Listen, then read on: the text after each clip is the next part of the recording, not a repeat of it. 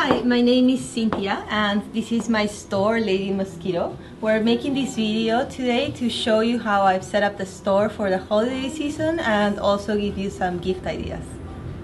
The 36 and under table.